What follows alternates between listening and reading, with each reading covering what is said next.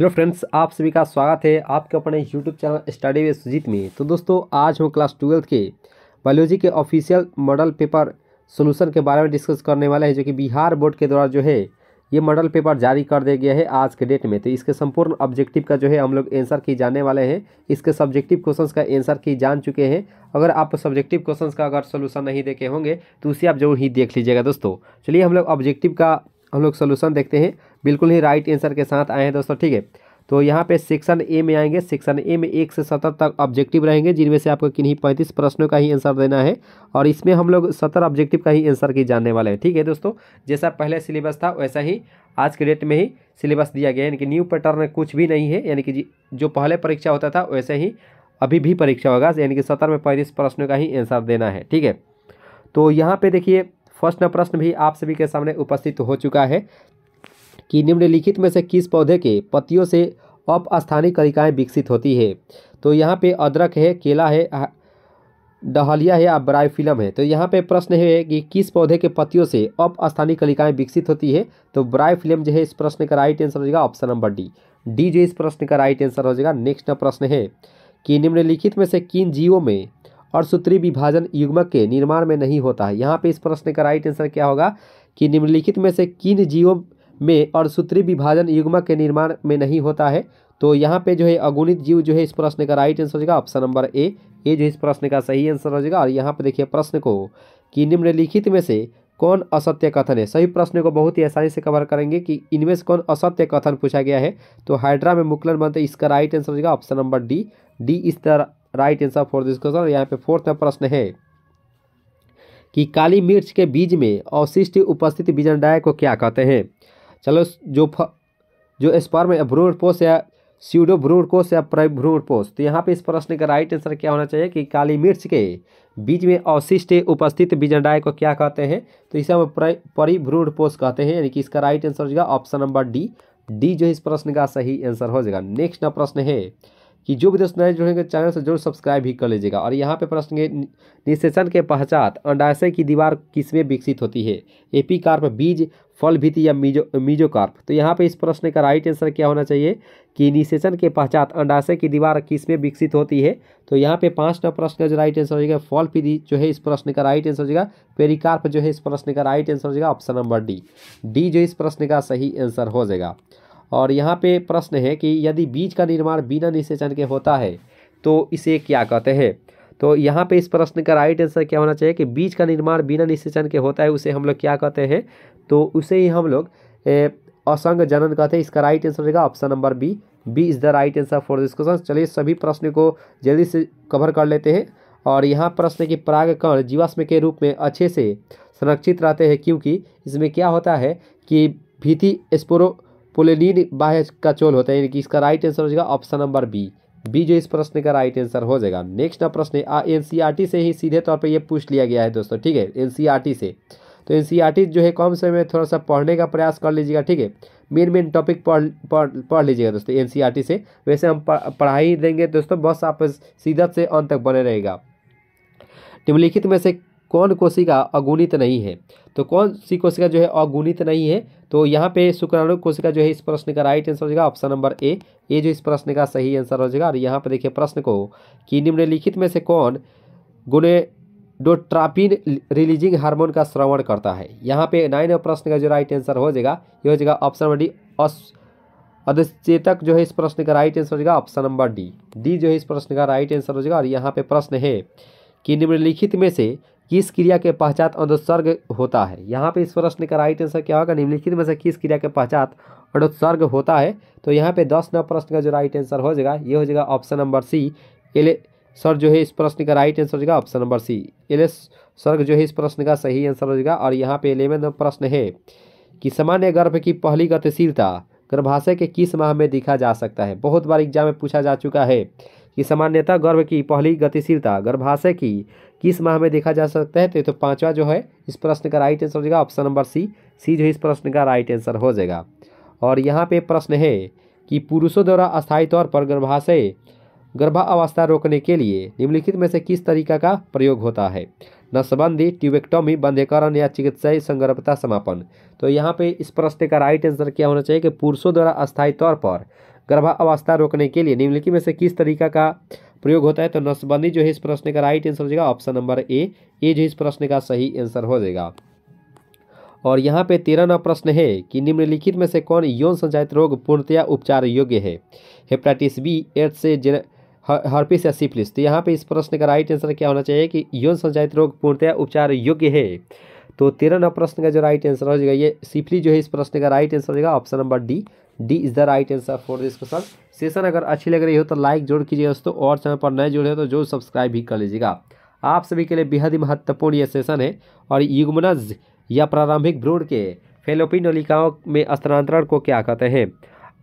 I B F I I T या Z I I T F और यहाँ पे है आई ओ टी तो यहाँ पे इस प्रश्न का राइट आंसर क्या होना चाहिए? कि युग्मनज या प्रारंभिक भ्रूण के फेलोपिन नलिकाओं के स्थानांतरण को क्या कहते हैं? तो इसे हम लोग जेड आई ई टी कहते हैं, यानी कि ऑप्शन नंबर यहाँ पे, जो सी ऑप्शन है, इस प्रश्न का राइट आंसर हो जाएगा option number C C is the right answer for this question चलिए दोस्तों नेक्स्ट प्रश्न को कवर करते हैं और यहाँ पे प्रश्न है कि मेंडल द्वारा संपादित एकल संकरण क्रॉस एफ़ टू जीनोटाइप होता है। देख, एक होता है फिनोटाइप, एक होता है जीनोटाइप। तो यहाँ पे फिनोटाइप पे क्या होता है? एकल के लिए पूछेगा तो तीन अनुपात एक होता है। ये अगर द्विसंकर के लिए पूछेगा तो ये नौ अनुपात, तीन अनुपात तीन अनुपात एक होता है। लेकिन यहाँ पे एफ़ टू ज़ीरो टाइप पूछा गया तो एक अनुपात, दो अनुपात एक होता है। इसका राइट आंसर हो जाएगा ऑप्शन नंबर बी बी जो इस प्रश्न का सही आंसर हो जाएगा। और यहाँ पर देखिए नेक्स्ट प्रश्न को। कि निम्नलिखित में से कौन कथन फिनाइल क्यूटो न्यूरिया के बारे में असत्य है। तो यहाँ पे सोलह प्रश्न का जो राइट आंसर हो जाएगा, यहाँ पे कौन जो है असत्य है, इसके बारे में बताना है। तो यहाँ पे इसका जो राइट आंसर होगा option number C phenyl alanine एवं फिनाइल पायरुवेट की उच्च सांद्रता जो है इस प्रश्न का राइट आंसर होगा ऑप्शन नंबर सी नेक्स्ट प्रश्न है कि मेंडल के अनुसार कोई वस्तु अपरिवर्तित रूप से जनक से संतति को युग्मकों के माध्यम से उत्तरोत्तर पीढ़ियों के अग, अग्रसारित होती है जिन्हें उन्होंने क्या कहा। तो यहाँ पे सतन प्रश्न का जो राइट आंसर हो जाएगा ये हो जाएगा ऑप्शन नंबर यहाँ पे जो ए है यानी कि कारक जो कि राइट आंसर होगा ऑप्शन नंबर ए ए जो इस प्रश्न का राइट आंसर हो जाएगा। नेक्स्ट प्रश्न है कि निम्नलिखित में से किसमें एक्सो नर प्रकार का लिंग निर्धारण क्रिया विधि है?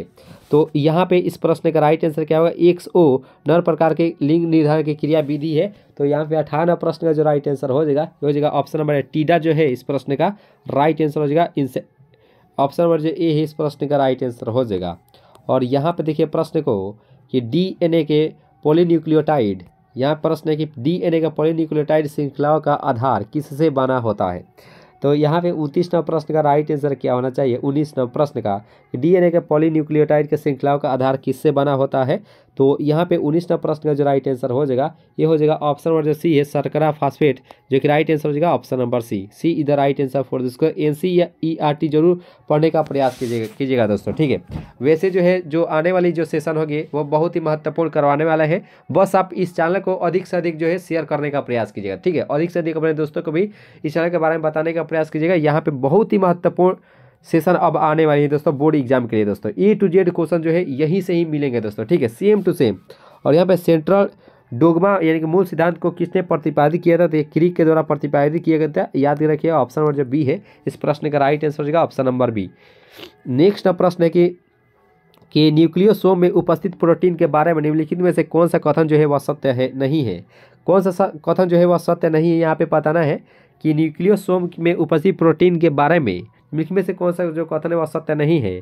तो यहाँ पे सत्य नहीं है ऑप्शन नंबर जो ए है, यानी कि नॉन हिस्टोन जो कि राइट आंसर हो जाएगा ऑप्शन नंबर ए ए जो इस प्रश्न का सही आंसर हो जाएगा ऑप्शन नंबर ए चलिए दोस्तों नेक्स्ट प्रश्न को कवर करते हैं और यहाँ पे प्रश्न है, अगर जो भी दोस्त नए जुड़ेंगे चैनल से, ज़रूर सब्सक्राइब भी कर लीजिएगा दोस्तों, ठीक है?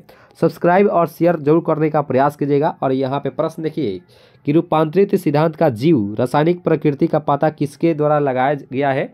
तो यहाँ पे बाईस नंबर प्रश्न का जो राइट आंसर हो जाएगा, ये हो जाएगा ऑप्शन नंबर सी एबेरी मेकलियोड और मेक कार्टी जो है इस प्रश्न का राइट आंसर हो जाएगा ऑप्शन नंबर सी और यहाँ पे तेईस नंबर प्रश्न के निम्नलिखित कथनों में से आर एन ए के बारे में गलत कथन कौन है?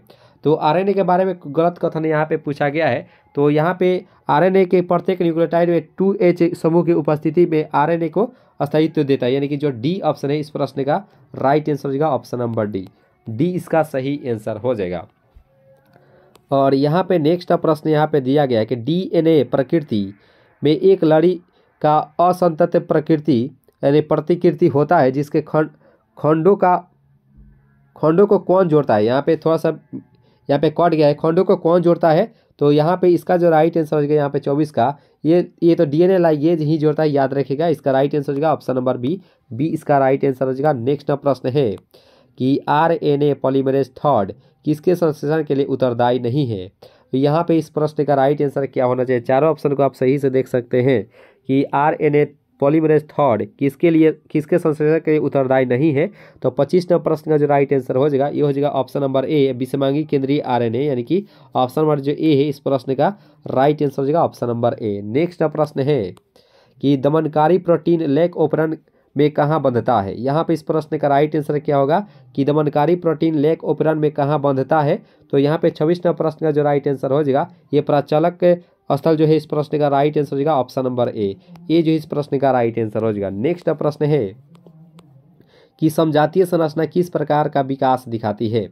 अपसारी, अभिसारी, समांतर या साल्टेटरी तो यहाँ पे सताइस नंबर प्रश्न का राइट आंसर क्या होगा कि समजातीय संरचना किस प्रकार का विकास दिखाती है? तो सताइस नंबर प्रश्न का जो राइट आंसर हो जाएगा, ये अपसारी दिखाती है, याद रखिएगा, इसका राइट आंसर हो जाएगा ऑप्शन नंबर ए ये जो इस प्रश्न का राइट आंसर हो जाएगा। नेक्स्ट नंबर प्रश्न है कि निम्नलिखित में से कौन समष्टि में अलील आवृत्तियों में परिवर्तन लाता है? यहाँ पे इस प्रश्न का राइट आंसर क्या होगा कि निम्नलिखित में से कौन समष्टि में अलील आवृत्तियों में परिवर्तन लाता है? तो यहाँ पे अट्ठाईस नंबर प्रश्न का जो राइट आंसर हो जाएगा, ये हो जाएगा ऑप्शन नंबर डी उपयुक्त सभी जो है इस प्रश्न का राइट आंसर हो जाएगा ऑप्शन नंबर डी डी इसका राइट आंसर हो जाएगा option number D D is the right answer for this question चलिए दोस्तों, यहाँ पे हम लोग उनतीस नंबर प्रश्न के बारे में भी डिस्कस कर लेते हैं। ये प्रश्नोत्तर भी हर साल पूछा जाता है कि कौन जो है प्रारंभिक कूट है। तो प्रारंभिक कूट कौन सा हो जाएगा? तो ये ए यू जी होता, हो जाता है। यू यू जी जो है, ये समापन कूट होता है। इसका राइट आंसर हो जाएगा ऑप्शन नंबर ए ए जो इस प्रश्न का राइट आंसर हो जाएगा। सेशन अगर अच्छी लग रही हो तो लाइक ज़रूर कर लीजिएगा दोस्तों, और चैनल पर नए जुड़े हो तो जो सब्सक्राइब भी कर लीजिएगा। निम्नलिखित में से कौन बीमारी जीवाणु द्वारा होता है? तो यहाँ पे जीवाणु द्वारा कौन होता है? तो यहाँ पे टाइफाइड जो है, इस प्रश्न का राइट आंसर हो जाएगा। Option option number A typhoid जो है सालोमोनेला नामक टाइफाइड जीवाणु के द्वारा होता है। याद रखें बैक्टीरिया इस प्रश्न का राइट आंसर हो जाएगा। ऑप्शन नंबर ए ए जो इस प्रश्न का सही आंसर हो जाएगा। नेक्स्ट प्रश्न है सेशन अगर अच्छी लगे लाइक ज़रूर कर लीजिएगा। और चैनल पर नए जुड़े तो जो सब्सक्राइब भी कर लीजिएगा। ठीक है दोस्तों? और यहाँ पे निम्नलिखित में से कौन आर दूत आर का पूर्ववर्ती है। यहाँ पे इस प्रश्न का राइट आंसर क्या होगा? इकतीस नंबर प्रश्न का। Which of the following R N A precursor of messenger R of R N A तो यहाँ पे इसका राइट आंसर जो हो जाएगा इकतीस का। हो जाएगा ऑप्शन नंबर सी विषमांगी केंद्रीय आर एन ए होता है। इस प्रश्न का राइट आंसर हो जाएगा ऑप्शन नंबर सी सी जो है इस प्रश्न का राइट आंसर हो जाएगा। आइए दोस्तों यहाँ पे बत्तीस नंबर प्रश्न को भी अच्छे से कवर कर लेते हैं कि which of the following following cell does not phagocytose pathogens यानी निम्नलिखित में से कौन से कोशिका रोगाणुओं का भक्षण नहीं करते हैं, यहाँ पे नहीं करते हैं, यहाँ पे पूछा गया है। तो यहाँ पे बत्तीस नंबर प्रश्न का जो राइट आंसर हो जाएगा हो जाएगा option number D R B C जो कि राइट आंसर हो जाएगा ऑप्शन नंबर रेड बड़ा सेल डी जो इस प्रश्न का राइट आंसर हो जाएगा। और यहाँ पे तैतीस नंबर प्रश्न भी आप सभी के सामने उपस्थित हो चुका है कि निम्नलिखित में से प्रतिरक्षी अणु के बारे में असत्य कथन कौन है? प्रतिरक्षी अणु के बारे में असत्य कथन इनमें से कौन सा हो जाएगा? तो ये तो प्रतिरक्षी अणु में दो लघु एवं दो दीर्घ श्रृंखलाएँ होती है, जो कि राइट आंसर हो जाएगा ऑप्शन नंबर बी बी जो इस प्रश्न का राइट आंसर हो जाएगा ऑप्शन नंबर बी नेक्स्ट प्रश्न यहाँ पर देख रहे होंगे स्क्रीन पर कि निम्नलिखित में से कौन पौधा मार्फिन का स्रोत है? तो मार्फिन का स्रोत इनमें से कौन सा पौधा हो जाएगा? तो यहाँ पे चौंतीस नंबर प्रश्न का राइट आंसर क्या होना चाहिए? कि निम्नलिखित में से कौन जो है पौधा मार्फिन का स्रोत है? तो यहाँ पे चौंतीस नंबर प्रश्न का जो राइट आंसर हो जाएगा, ये हो जाएगा ऑप्शन नंबर यहाँ पे जो बी है पेफेबर सेमनीफेरम जो कि राइट आंसर हो जाएगा ऑप्शन नंबर बी बी जो इस प्रश्न का राइट आंसर हो जाएगा ऑप्शन नंबर बी नेक्स्ट प्रश्न है और यहाँ पे प्रश्न है कि निम्नलिखित में से किस बीमारी का संक्रामक रूप जी, जीवाणु है? या मलेरिया एड्स टाइफाइड और यहाँ पे न्यूमेनिया है। तो यहाँ पे पैंतीस नंबर प्रश्न का राइट आंसर क्या होगा कि किस बीमारी का संक्रामक रूप जीवाणुज है? तो यहाँ पे इसका जो राइट आंसर हो जाएगा तो यहाँ पे देखिए, ये मलेरिया हो जाएगा। जीवाणु संक्रामक रूप जीवाणुज है। तो यहाँ पे संक्रामक रूप, यहाँ पे मलेरिया हो जाएगा, ठीक है? यहाँ पे टाइफाइड नहीं हो जाएगा। इसका राइट आंसर हो जाएगा ऑप्शन नंबर है टाइफाइड जो है, जीवाणु के कारण होता है, लेकिन यहाँ का संक्रामक रूप जीवाणुज है। यानी कि जो ए ऑप्शन है, इस प्रश्न का राइट आंसर हो जाएगा। ठीक है दोस्तों? और यहाँ पे प्रश्न की निम्नलिखित में से किस सूक्ष्म जीव का प्रयोग स्विच स्विस चीज़ तैयार में होता है? Swiss cheese. तो यहाँ पे प्रोपीनियोबैक्टीरियम शर्मानाई जो है, इस प्रश्न का राइट आंसर हो जाएगा ऑप्शन नंबर बी और यहाँ पे प्रश्न है कि किन्होंने स्थापित किया कि पेनिसिलिन एक प्रभाव साली प्रतिजीवी यानी एंटीबायोटिक है। यहाँ पे चारों ऑप्शन को देख सकते हैं। Alexander Fleming Ernst Chain Howard Florey Pasteur या रॉबर्ट कोच। तो किन्होंने स्थापित किया पेनिसिलिन एक प्रभावशाली प्रतिजीविक एंटीबायोटिक है। तो सैंतीस नंबर प्रश्न जो राइट आंसर हो जाएगा, ये हो जाएगा अलेक्जेंडर फ्लेमिंग, जो कि राइट आंसर हो जाएगा ऑप्शन नंबर ए ए जो इस प्रश्न का राइट आंसर हो जाएगा। नेक्स्ट प्रश्न है कि निम्नलिखित में से कौन प्रतिकोप यानी कि निरोप का अस्वीकृत करता है? तो यहाँ पे अड़तीस नंबर प्रश्न का राइट आंसर आ जाना चाहिए दोस्तों कि निम्नलिखित में से कौन प्रतिरोप, यानी कि निरोप को अस्वीकृत करता है? तो अड़तीस नंबर प्रश्न का जो राइट आंसर हो जाएगा, ये कोशिका माध्यम का प्रतिरक्षा अनुक्रिया जो है, इस प्रश्न का राइट आंसर होगा option number D D is the right answer for this question और यहाँ पे प्रश्न है कि एटलस सिक्सटी सिक्स यानी कि सिक्सटी सिक्स का संबंध निम्नलिखित में से किस फ़सल से है? गेहूँ, चावल, धान यानी कि यहाँ पे एटला सिक्सटी सिक्स का जो है संबंध ये गेहूँ से होता है, याद रखिएगा। यानी कि ऑप्शन नंबर यहाँ पे जो ए ऑप्शन है, इस प्रश्न का राइट आंसर हो जाएगा ऑप्शन नंबर ए और यहाँ पे प्रश्न है कि एक नस्ल, एक ही नस्ल से अधिक निकटस्थ सदस्य से में चार से छः पीढ़ी का संगम होना क्या कहलाता है? तो यहाँ पे चालीस नंबर प्रश्न का जो राइट आंसर हो जाएगा, यह अंत प्रजनन जो है, इस प्रश्न का राइट आंसर हो जाएगा ऑप्शन नंबर बी बी जो है, इस प्रश्न का राइट आंसर हो जाएगा। और यहाँ प्रश्न के डीएनए पर किस प्रकार के आवेश होते हैं? तो यहाँ पे इस प्रश्न का राइट आंसर क्या होगा कि डीएनए पर किस प्रकार के आवेश होते हैं? तो इस पर जो आवेश होते हैं निगेटिव होता है, इसका राइट आंसर हो जाएगा ऑप्शन नंबर ए ए जो इस प्रश्न का सही आंसर हो जाएगा ऑप्शन नंबर ए और नेक्स्ट प्रश्न ये छालन क्या है? देखिए छालन जो होता है, एक रोज जेल के टुकड़े से डीएनए के खंड को निकालना होता है। यानी कि जो ए ऑप्शन है, इस प्रश्न का राइट आंसर हो जाएगा ऑप्शन नंबर ए। ए इसका सही आंसर हो जाएगा ऑप्शन नंबर ए। चलिए दोस्तों, यहाँ पे नेक्स्ट प्रश्न को भी कवर कर लेते हैं। और यहाँ पे प्रश्न देखिए कि निम्नलिखित में से किस प्रक्रिया से डीएनए खंड को जीवाणु में प्रवेश कराते हैं? तो यहाँ पे चारों ऑप्शन को देख सकते हैं कि which of the following process is utilize introduce DNA fragment of enterobacteria तो यहाँ पे डी, किस प्रक्रिया से डीएनए खंडों के जीवाणु में प्रवेश करते हैं यानी कि कराते हैं तो यहाँ पे फोर्टी थ्री नंबर प्रश्न का जो राइट आंसर हो जाएगा, ये रूपांतरण जो है इस प्रश्न का ट्रांसफॉर्मेशन जो है इस प्रश्न का राइट आंसर हो जाएगा option number B forty four number प्रश्न यहाँ पे देखेंगे, ये सभी एन प्रश्न से ही पूछा गया है। ठीक है दोस्तों, यानी कि बुक से। बुक थोड़ा सा पढ़ने का प्रयास कीजिएगा। थोड़ा सा पढ़ लेंगे तो आपका पैंतीस से पैंतीस कोई नहीं रुक सकता है। वैसे हम बुक पढ़ाएँगे ही एन ही बुक हम कवर करेंगे दोस्तों, ठीक है? जितने भी ऑब्जेक्टिव एन होगा वो सभी को कवर कर लेंगे दोस्तों। बस आप निश्चिंत रहिए। इस चैनल पर बस आप थोड़ा सा बिलीव करने का प्रयास कीजिएगा। ए टू जेड आपको क्वेश्चन का आंसर मालूम होगा। यानी कि पैंतीस से पैंतीस आपका ज़रूर ही आएगा दोस्तों, ठीक है? बस से। ठीक है, और यहाँ पे फोर्टी फोर नंबर प्रश्न है कि जीवाणु कोशिका को डीएनए लेने हेतु सक्षम बनाने हेतु क्या किया जाता है? तो फोर्टी फोर नंबर प्रश्न का जो राइट आंसर हो जाएगा, ये हो जाएगा ऑप्शन नंबर ए जीवाणु कोशिका को द्विसंयोजन धन्यान से संसाधित करना होता है। ऑप्शन जो ए है, इस प्रश्न का राइट आंसर हो जाएगा ऑप्शन नंबर ए और यहाँ पे फोर्टी फाइव नंबर प्रश्न है कि डीएनए के पृथ्वीकरण में शोधित डीएनए का अवक्षेप हेतु क्या मिलाते हैं? तो यहाँ पे पैंतालीस नंबर प्रश्न का राइट आंसर क्या होना चाहिए? कि डीएनए के पृथ्वीकरण में शोधित डीएनए का अवक्षेपण हेतु क्या मिलाते हैं? तो यहाँ पे पैंतालीस नंबर प्रश्न का जो राइट आंसर हो जाएगा, ये इसका इथेनॉल जो है, इस प्रश्न का राइट आंसर हो जाएगा ऑप्शन नंबर डी और यहाँ पे है कि बी पी आर तीन सौ बत्तीस में प्रतिबंधित स्थल बी ए में एच वन कहाँ होता है? यहाँ पे छियालीस नंबर प्रश्न का राइट आंसर क्या होगा? बी पी आर तीन सौ बत्तीस में सॉरी, तीन सौ बाईस में प्रतिबंधित स्थल B A M H one कहाँ होता है? तो यहाँ पे फोर्टी सिक्स प्रश्न का जो राइट आंसर होना चाहिए, ये हो जाएगा ऑप्शन नंबर टेट्रासाइक्लिन प्रतिरोधी जीन होता है। लेकिन जो सी ऑप्शन है, इस प्रश्न का राइट आंसर हो जाएगा option number C C is the right answer for this question चलिए यहाँ पे प्रश्न को देखते हैं कि निम्नलिखित में से कौन बी पी आर दो, तीन सौ बाईस में वारण योग्य चिन्हक है? तो यहाँ पे सैंतालीस नंबर प्रश्न का जो राइट आंसर हो जाएगा, ये T E T R gene और एम पी आर जीन दोनों होता है, यानी कि जो सी ऑप्शन है, ए और बी दोनों, जो कि राइट आंसर हो जाएगा ऑप्शन नंबर सी सी जो इस प्रश्न का राइट आंसर हो जाएगा। चैनल पर अगर नए जुड़े हो तो ज़रूर सब्सक्राइब भी कर लीजिएगा दोस्तों, ठीक है? और यहाँ पे प्रश्न है कि निम्नलिखित में से किसकी आवश्यकता पीसीआर में नहीं होती है? यहाँ पे प्रश्न है कि निम्नलिखित में किसकी आवश्यकता जो है पीसीआर में नहीं होती है?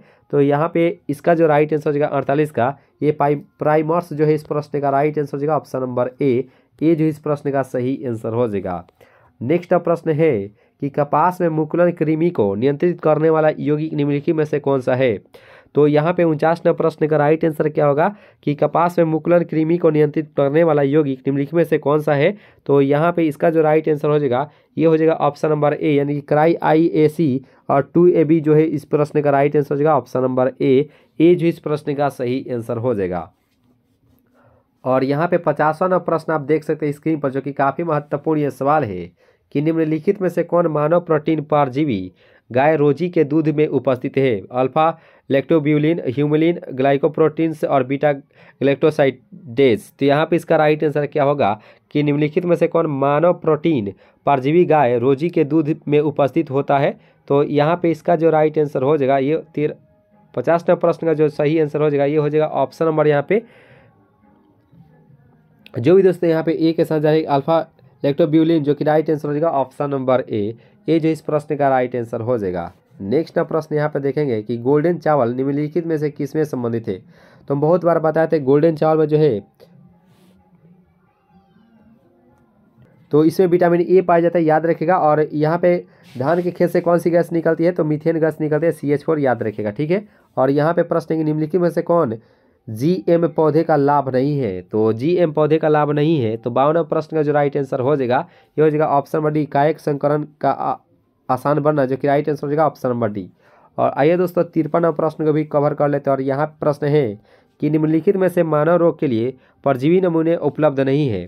तो यहाँ परजीवी नमूने उपलब्ध नहीं है तो मलेरिया जो है, इस प्रश्न का राइट आंसर हो जाएगा ऑप्शन नंबर डी डी जो इस प्रश्न का राइट आंसर हो जाएगा, यहाँ पे चौदह प्रश्न है कि निम्नलिखित में से किस किस्म पर उन्नीस सौ सतहत्तर में एक अमेरिकी कंपनी में एक सेवा अधिकार प्राप्त कर लिया था? तो यहाँ पे चौदह प्रश्न का जो राइट आंसर हो जाएगा बासमती और अर्धबौनी किस्म यानी कि जो डी ऑप्शन है, इस प्रश्न का राइट आंसर हो जाएगा ऑप्शन नंबर डी चलिए दोस्तों, यहाँ पे प्रश्न को देख लेते हैं कि यहाँ ये प्रश्न उत्तर क्या कह रहा है कि निम्नलिखित में से कौन कथन अनुवंशिक निर्मित इंसुलिन के बारे में असत्य है?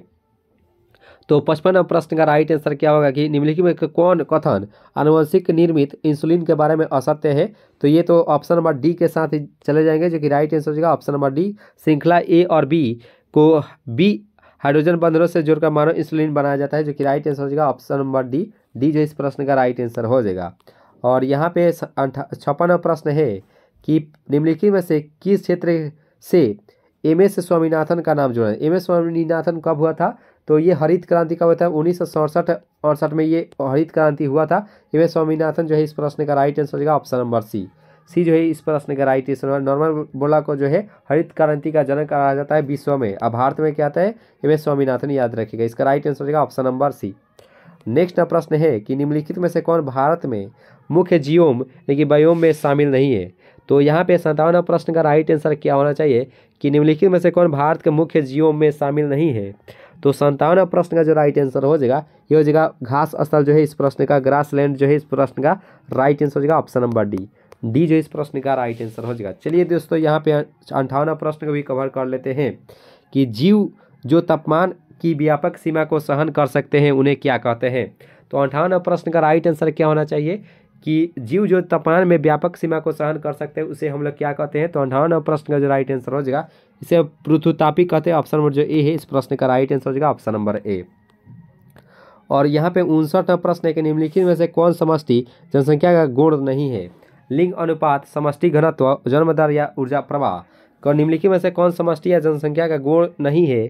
तो उनसठ प्रश्न का जो राइट आंसर हो जाएगा, ये हो जाएगा ऑप्शन नंबर डी ऊर्जा प्रवाह, जो कि राइट आंसर हो जाएगा ऑप्शन नंबर डी नेक्स्ट प्रश्न है, और यहाँ पे प्रश्न है कि 1920 में ऑस्ट्रेलिया में कौन से पौधे को लाने के बाद लाखों हेक्टेयर क्षेत्र में तबाही मचा दी थी?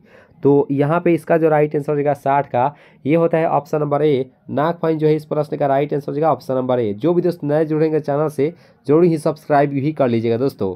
वीडियो को लाइक नहीं किए होंगे तो लाइक ज़रूर कर लीजिएगा दोस्तों, और यहाँ पे प्रश्न कि स्पर्धी अपवर्जन नियम की, किन्होंने प्रतिपादित किया यहाँ पे इस प्रश्न का राइट आंसर क्या क्या होगा? दोस्तों कि स्पर्धी अपवर्जन नियम किन्होंने प्रतिपादित किया तो यहाँ पे इसका जो राइट आंसर हो जाएगा इकसठ का, ये हो जाएगा ऑप्शन नंबर डी गॉस, जो है इस प्रश्न का राइट आंसर हो जाएगा गॉस। इसका राइट आंसर हो जाएगा ऑप्शन नंबर बी बासठ प्रश्न है कि निम्नलिखित में से महा सॉरी महोकारिता का उदाहरण नहीं है। यहाँ पे इस प्रश्न का राइट आंसर क्या होना चाहिए कि कौन जो है महोपकारिका का उदाहरण नहीं है तो यहाँ पे चारों ऑप्शन को आप सही से देख सकते हैं।